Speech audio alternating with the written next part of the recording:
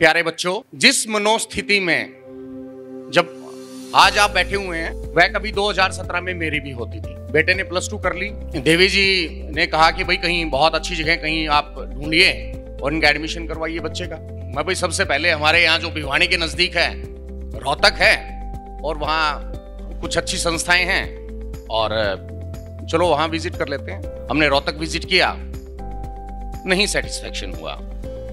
जब रोहतक थे तो लगा कि अब दिल्ली भी दूर नहीं है। बारह बजे हुए, क्यों ना दिल्ली को भी देख लेते हैं। हमने उनको भी विज़िट किया। और करीबन छह सात बजे तक हम वो देख के हमें लगा कि नहीं, वो कंफर्टेबल जोन और जो व्यवस्थाएँ चाहिए, वो भी यहाँ फुलफिल नहीं हो पा रही। गाड़ी उठाते हैं, कोटा चलते हैं। तो कोटा के बारे में मेरे ख्याल से बताने की कोई आवश्यकता नहीं है। एक बहुत बड़ा एजुकेशन हब रहा है, कोटा के लिए निकल लिए अब कोटा गए there are so many institution और देयर अब वो ढंग से उनके हॉस्टल, उनकी क्लासेस, उनका कैरिकुलम वो सब समझना, वो एक दो घंटे का कोई काम नहीं था। हमने फिर अगले दिन, उसी दिन, जिस दिन हम कोटा गए, हमने वहाँ स्टे किया। और सारा दिन हमने वहाँ हर संस्था को विज़िट किया। और लास्टली जब हम शाम को पहुँचे तो इतने मन में क्वेश्चंस थे कि ये बहुत बढ़िया चीज़ है। लेकिन इसे इसके साथ इसमें, इस चीज़ का समावेश नहीं है।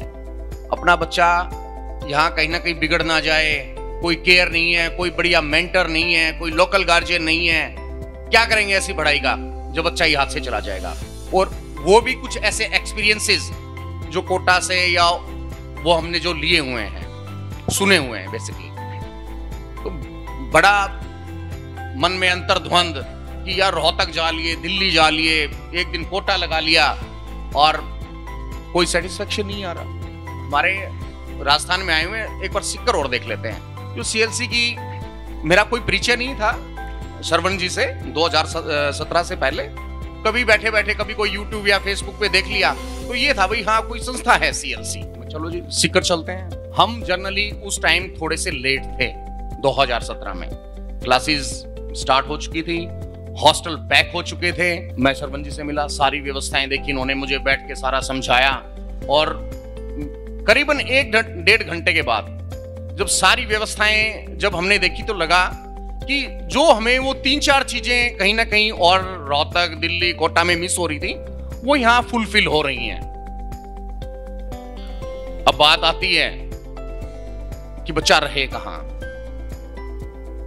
तो मैं, मैंने चौधरी साहब से रिक्वेस्ट की, मैं सर, सब आपका तो पैक हो गया, आपके पास तो there are number of students अब बच्चे को छोड़ेगा और सभी का बेसिकली क्या है कि अपना अपना स्टार्टिंग से बच्चे को रखने का अपना जो परिवेश है कि बच्चा को हमने किस तरह से रखा हुआ है, उसको वो कंफर्टेबल जोन मिलेगा, नहीं मिलेगा, कहीं वो वहाँ से छोड़ के कह देगी, महीने, डेढ़ महीने में कि जी, मेरे बस की बात तो नहीं है, मैं इस व्यवस्था में नहीं रह सकता, वो वापस ना आ जाए.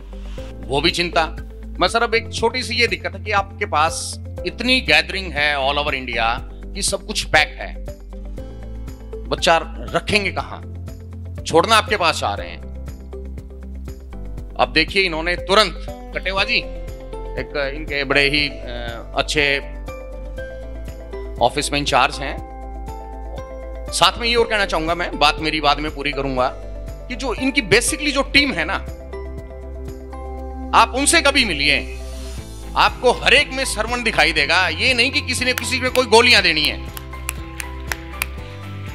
बेसिकली क्या होता है स्टाफ में भाई है ना ऑर्गेनाइजेशन में भाई ये हेड है तो इनकी जिम्मेवारी है। साथ में सर है इनकी जिम्मेवारी नहीं। आप किसी से भी मिलिएगा वो उतना ही उत्तरदायित्व लेंगे आपके बच्चे की प्रोग्रेस के लिए।